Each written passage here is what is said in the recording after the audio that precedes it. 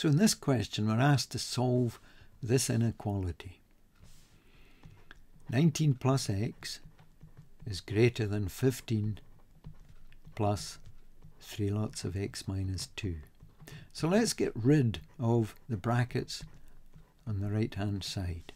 Now we need to be careful about what's actually outside these brackets. It's just the plus 3 term 15 does not get multiplied out over the brackets. So it's plus 3 times x and 3 times the negative 2, negative 6.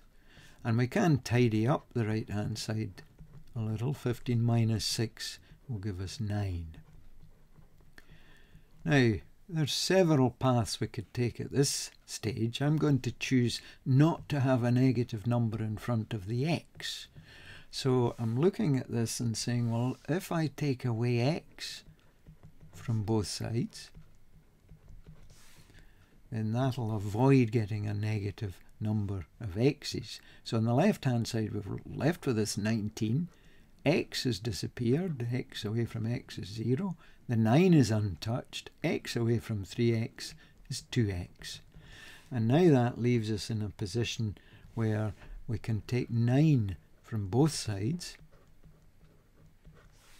And 9 from 19 gives us 10 that 9 has disappeared 9 from 9 is 0 and we've got a 2x so we've got 10 greater than 2x and let's divide both sides by 2 which still keeps the inequality sign the same way around because we're dividing by a positive number. 2 into 10 is 5 greater than 2 into 2x, half of 2x is 1x. So the 2's cancel there. Now, if 5 is larger than all the numbers x that solve this inequality, then all these numbers will be less than 5. We can rewrite this inequality the other way around. We usually write these inequalities with the variable, with the x, with the letter at the beginning. So that's one method. There is an alternative at this stage where uh, we choose to keep the letters on the left and the numbers on the right. And if we're doing that, we would be subtracting 3x from both sides uh, as a first step, and that would leave the 19 untouched. x minus 3x is minus 2x.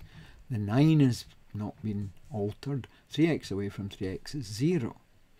And then at this stage we'd say, well, 19 needs disappeared. So we take away 19 from both sides of the inequality.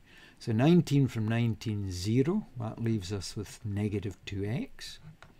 19 away from 9 is negative 10 for that one, think of the number line. And if you're at 9 and you take away 19, you'll end up at negative 10. Remember, this is paper 1 with no calculators.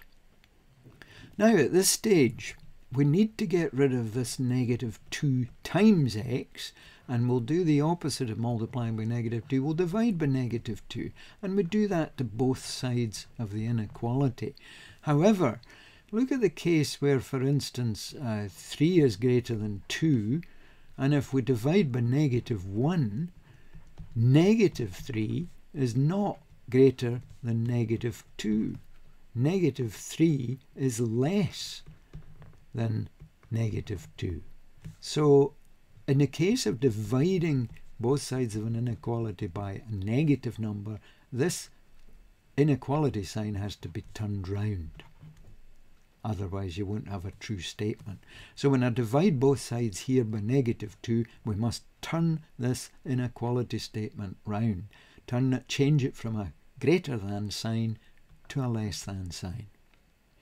Now negative 2's cancel there, giving us 1x. That's why we divided both sides by negative 2. And negative 10 divided by negative 2 will be positive 5. And again, we get the same result as before. x is less than 5.